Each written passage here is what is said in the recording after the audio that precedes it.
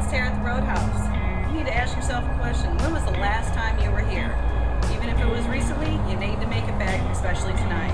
It's open blues and jam session, open mic night with Matt Davis and Daryl Washington.